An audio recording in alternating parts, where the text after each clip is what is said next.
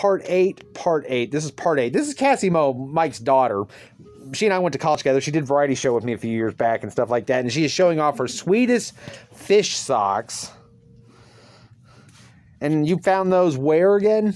At a um, gas station. Socks and sand. Where at? Where did you find those at a gas station? Somewhere in Texas. Wow. And I do like the dress. That's cool and stuff like that. Thank you, thank you. Socks and sandals. I'll go overachiever here.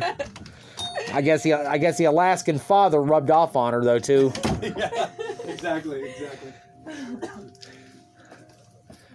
No, I come in on Sundays and debate with your dad and record just for the fun of it, just to have I'm fun. obsessed with with Swedish fish though. So Have you ever ate one? oh yes, not like a fish from Sweden, but the actual regular like candy Swedish fish. Comes from your grandma's, your great grandma's side.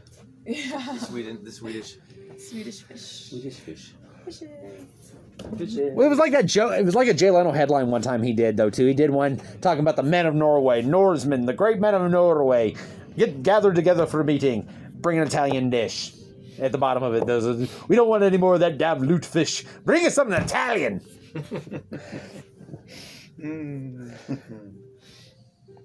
Yeah, Yeah. yeah.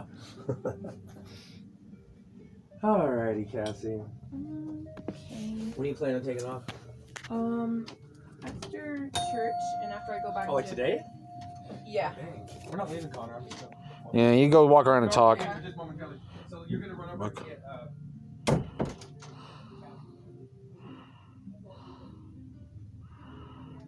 Interesting choice of a book. Might have to look into this one.